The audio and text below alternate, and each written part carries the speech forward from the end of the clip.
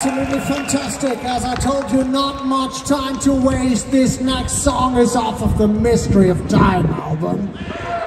This one's gonna favor, it's gonna feature a great friend of mine. What a feeling, boys. Ladies and gentlemen, this one's called Invoke the Machine!